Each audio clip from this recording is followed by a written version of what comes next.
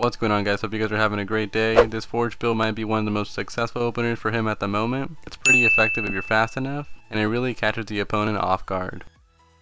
Okay, so you're going to want to start off with two supply pads and a generator. Your main focus is to push as many supplies as possible. Power is not important. You're going to want to make sure you upgrade at least one supply pad.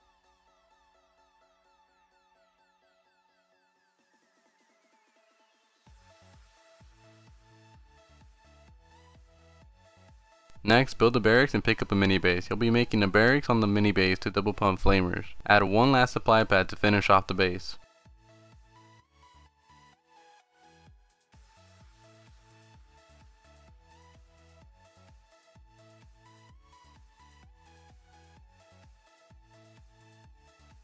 When both of your barracks finish, start pumping flamers. Make sure you don't go under 200 power, you need it for the pelican drop which brings the whole build together.